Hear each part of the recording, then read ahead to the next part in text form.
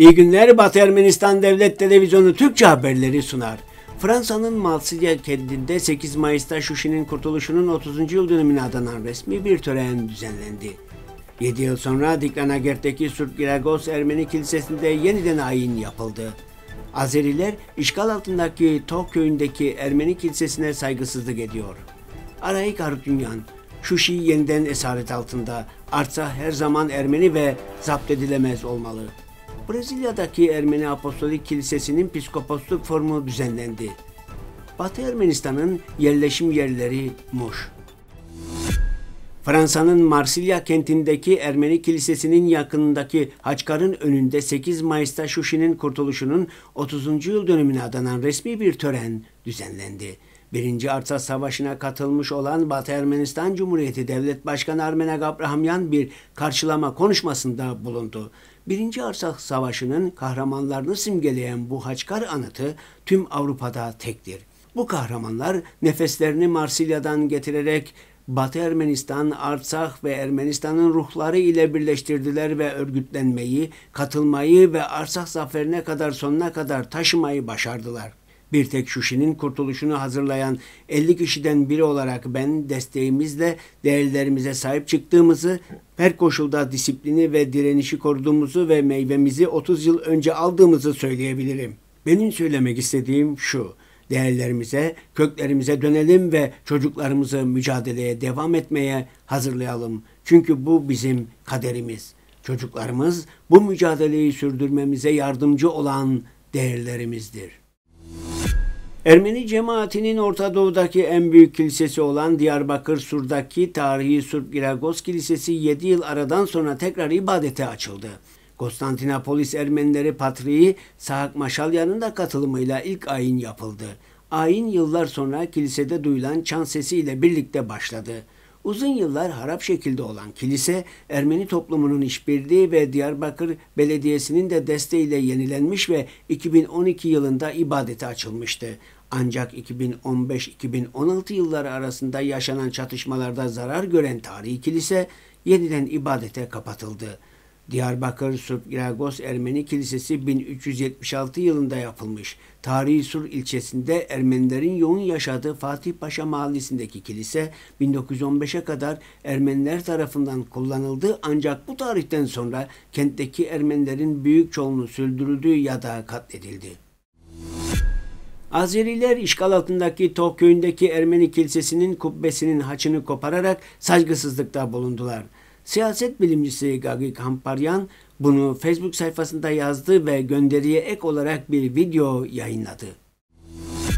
9 Mayıs Ermeni halkının tarihine özgürlük ve yılmaz ruhunun, cesaretinin ve kahramanlığının, sınırsız vatan sevgisinin, bağlılığının ve fedakarlığının sembolü olarak girmiştir.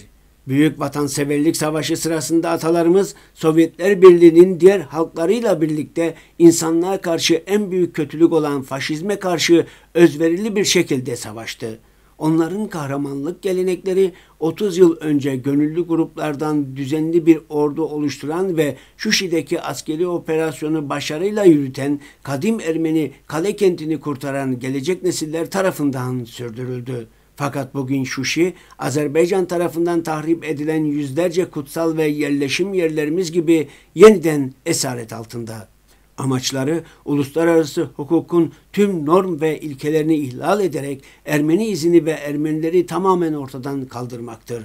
Bugün savunma ordumuz ile birlikte Arsak'ın güvenliği Rus barış gücü birlikleri tarafından sağlanmaktadır. Arsa halkının yanında oldukları ve bizleri her konuda destekledikleri için dostlarımıza çok teşekkür ederiz. Vatan için hayatını kurban eden herkese sonsuz şan ve şeref. Ermeni Kilisesi Dünya Gençlik Birliği Brezilya Ermeni Piskoposluğu gençlerinin katılımıyla 6 Mayıs'ta San Paulo'da piskoposluk formunun düzenlediğini bildirdi. Piskoposluk lideri Dernarek Berberyan bir konuşma yaptı ve Dünya Ermenileri Yüksek Patriği ve Katolikosu 2. Karaki'nin konferans katılımcılarına ilettiği mesajı okudu. Forum, yerel Ermeni kulübünde daha geniş bir grup gençle yapılan toplantıyla sona erdi. Aynı zamanda Brezilya Ermeni Piskoposluğu için 7 gençten oluşan bir gençlik konseyi ve 3 üyeli bir denetleme komitesi seçildi. Forma katılanlara sertifikalar ve Ermenistan ana katedralinde kutsanan haçlar ve ikonlar hediye edildi. Tıvnik, Vartenis, Til, Norşen, Garni, Arinçavank, Orgnost. Adı geçen bu yerler Batı Ermenistan'ın bugünkü Bağış, Bitlis ve Muş sınırları içinde kalan ilçe ve köylerden bazıları.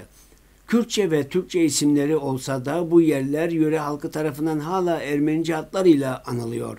19. yüzyıl ile 20. yüzyıl başlarında dönemin Bitlis vilayetine bağlı sancaklardan biri olan Muş, beş kazaya bölünmüştü. Sancağın kazalarından biri kentle aynı adı taşıyan bugünkü kent merkezini de kapsayan Muş'tu. Ermeni tarihinde her zaman önemli bir merkez oldu.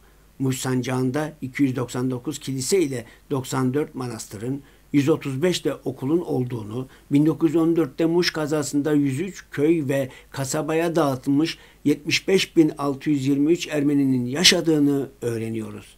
Antik bir Ermeni şehri olan Muş, Daron'un önemli merkezlerinden biriydi. Kadim Ermeni kenti Daron, Batı Ermenistan'ın erken dönem Hristiyanlığın merkeziydi. İttihat ve Terakki Cemiyeti iktidarının gerçekleştirdiği 1915 soykırımı Armenosit ile kentteki Ermeni nüfusun yok edilmesinin ardından kentin mimarisi de kıyımdan nasibini aldı. Ermeni mal ve mülkleri dağıtıldı, okul, kilise ve manastırları yıkıldı ya da farklı amaçlarla kullanıldı.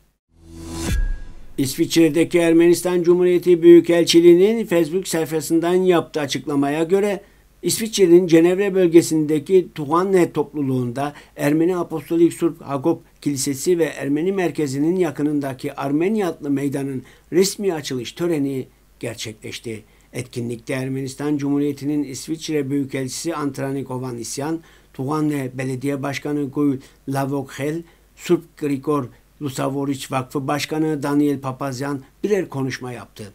Büyükelçilik açıklamasında Büyükelçi Ovanisyan çabaları sayesinde Armenya Meydanı'nın açılışı için özellikle Tuvanne Belediye Başkanı'na, belediye meclis üyelerine ve Ermeni cemaati temsilcilerine teşekkür etti denildi.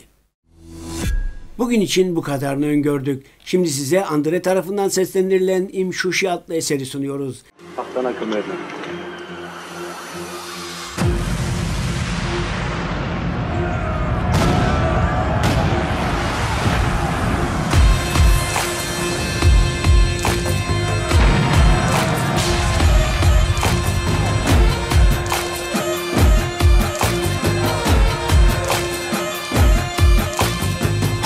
Տանագդ շունչա մստվալ Սիպտա կաչավ ազգս միացրալ Լերների թրսան է կնկրալ Տոչոնից նորից ազատագրալ Հային հայաշուշին միշտ պահալ